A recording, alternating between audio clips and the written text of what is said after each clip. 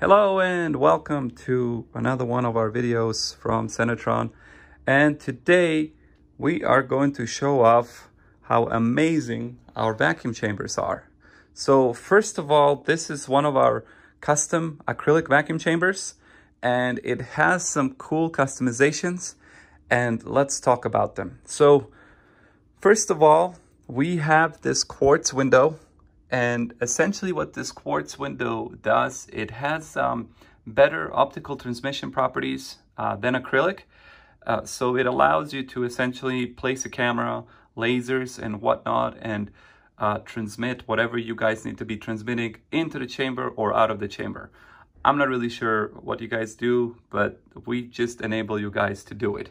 And the width of this window, uh, this is a five by five uh, footprint. So you have plenty of window space to see in there and to, to do whatever you need to do.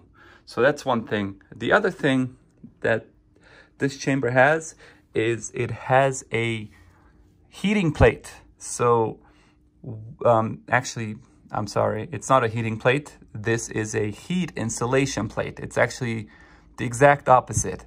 I totally meant to say that. So um, that's what we have. And essentially what our clients will do is they will place a heating plate in there.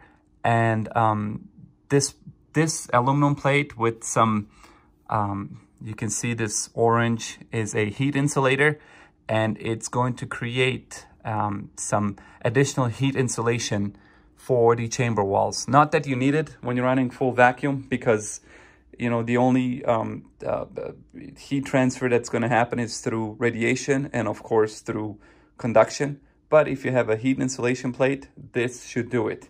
And also keep in mind that their heater plate, I know someone is going to ask on YouTube, you're going to say, well, what about, you know, the heat source being connected to the aluminum? Well, their heat source is going to have um, insulators.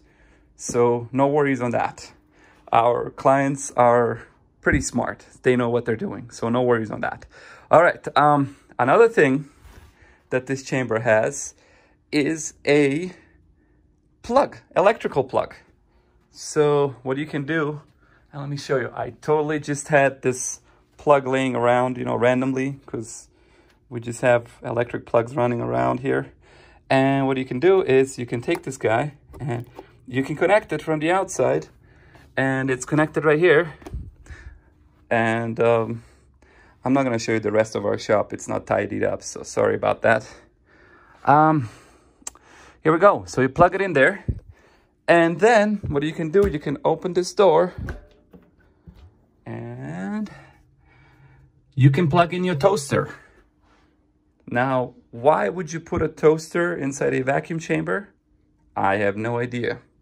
Uh, but it is something, if you guys have a need for it, um, you can do it with this chamber. And of course, um, another cool thing that this chamber has is uh, this comes as a standard is are of course two valves. One is vacuum valve, the other one is venting valve, and of course a dial vacuum gauge that's going to show you where you are approximately on your vacuum spectrum. So there you guys go.